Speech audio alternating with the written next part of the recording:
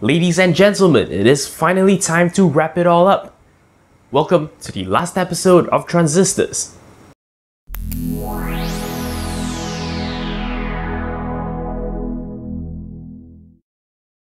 Hello and welcome back to Transistors. It is finally time to wrap up the entire series, so today I thought we would take some time to go back and to revisit everything we've learned to put it all back together. So at the very beginning, we learned what transistors were. You know, we started off with the simplest, what is NPN, what is PNP. And yeah, we learned that, well, thanks to the magic of semiconductors, we are able to create a virtual switch. That's essentially what our transistors are. We have a current that can be switched on and off with another piece of current, and that's what makes it so powerful. Then we spent quite a few episodes trying to build logic gates using our transistors, starting with the simplest, the NOT gate. We saw how interesting it was, you know, using an NPN transistor versus a PNP transistor, you know, how different these circuits actually looked. And this difference was further emphasized when we actually went on to look at our intermediate gates and or NAND and NOR. We saw how, well, with NPN or PNP transistors, we could still build any of these gates. But there were very interesting similarities and patterns that existed between different pairs of these gates. Again, here's the table that I showed you probably at the end of the either NAND or NOR episode, you know, where we brought it all together. The differences in design between our NPN and PNP transistors meant that, well, things had to be laid out slightly differently, but in a manner that was interestingly consistent, as shown in the table. Up to this point, every gate we made could be constructed with just two transistors, but we took it a step further by using more transistors to build our XOR and XNOR gates. So these started to get a little bit complex. We didn't have time to sort of look into a pure NPN and a pure PNP version. So we looked at one in which these two were mixed and we saw that we had to use 4 transistors each. These were a little bit more interesting because we had to sort of think out of the box, be a little bit more creative to, well, get our transistors to do what we wanted to do. So yeah, hopefully these were interesting exercises for you. Of course, up to this point, all we've been doing was trying to build logic gates using transistors.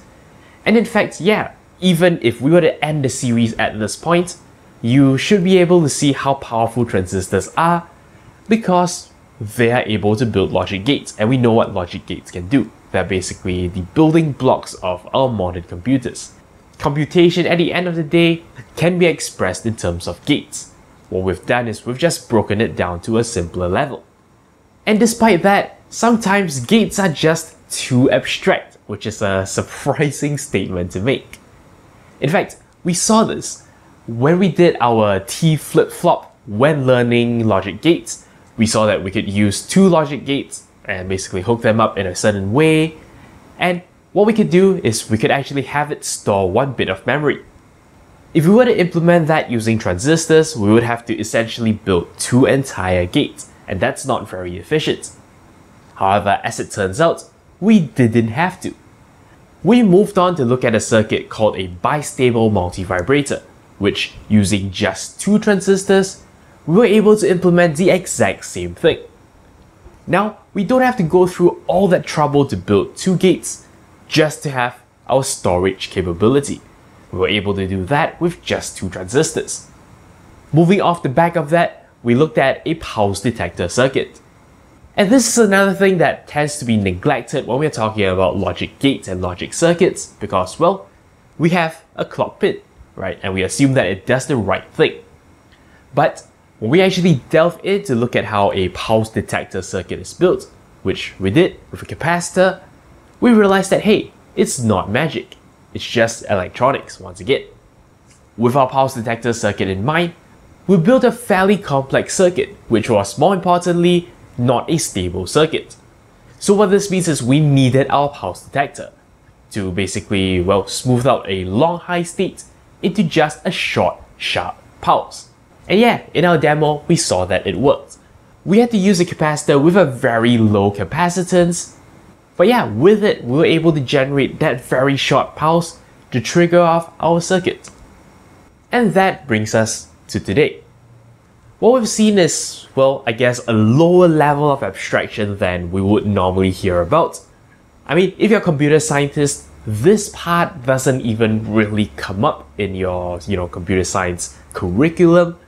Usually people go to gates and they stop there. So hopefully this has been an interesting, I guess, behind the scenes look uh, into what your logic gates are actually doing under the hood. Transistors and their related components, you know, like capacitors, your pulse detector circuits, these are very versatile, these are very powerful, and yeah, there are in fact many other applications that we haven't had time to cover. Even transistors themselves, um, the way we've described it, you know, talking about it like a switch, is a oversimplified way of thinking about things. Transistors have so many other applications, you can actually use them as an amplifying circuit. There's so much you can do. So yeah, really in this series we've barely scraped the tip of the iceberg. There is so much more that could be talked about. But hopefully what I've covered would be the most relevant to computer science, computing, programming in general, so hopefully you found it useful. Anyway, this wraps it all up for the Transistor series. I hope you've liked the videos, and yeah, your regularly scheduled programming will continue every Wednesday. Thank you very much for watching the Transistor series. Until next time, you're watching 0612 TV with NERDfirst.net. Thank you very much for watching. If you like my work and are feeling generous, you can shoot me a one-time donation on PayPal or sign up for a recurring one on Patreon. Of course, you can simply like, comment, and subscribe. You know the deal. For more videos, links to my channel and a related playlist are on screen. Thank you for your support.